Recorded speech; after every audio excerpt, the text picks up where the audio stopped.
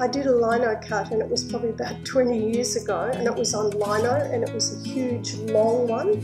So I haven't done any printing for 20 years, just about. So when I did it, I was extremely nervous and I kept thinking how hopeless I was going to be.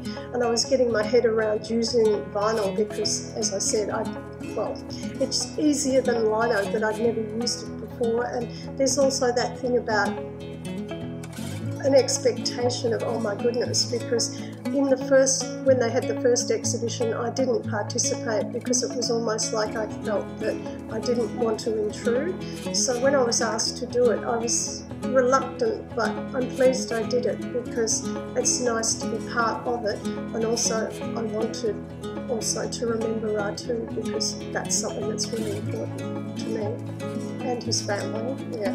So, yeah. Ratu taught me um, sort of carver etiquette. He made me sit next to him for a whole I don't know, hours and hours, and I had to do everything correctly. And he taught me a really old what you say when you finish, which is not mothe but Molly. And he's um, in charge of Nakasaleka, which is the whole region, or he was. So um, he's more or less the boss of that region, but he passed away last year. So.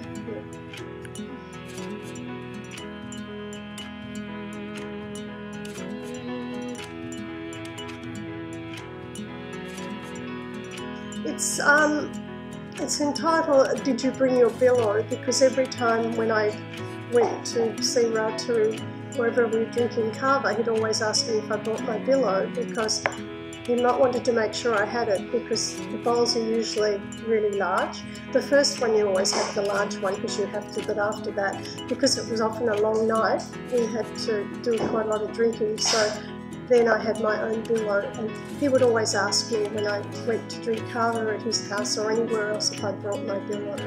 It sort of sums up the memory of him asking me that and yeah, and the hand is waving goodbye. The ocean, which is part of when you travel to Kadavu, it's you have to go by ocean. You go by fibre, which is what they call fiberglass boats. So we go by fibre over the ocean and to me, as soon as you're on the ocean or in that water, it's a wonderful feeling. So it's about the water, about him saying goodbye, and the memories that I have of going there. And also, I suppose I'm in the middle, but the hands the waving goodbye, and the billo is symbolising just the culture, the happiness, and all of the shared times that we drank kava because when you drink kava in the village, people sing, people share, and it's just, it's a sort of community, wonderful experience. So that's what it's about.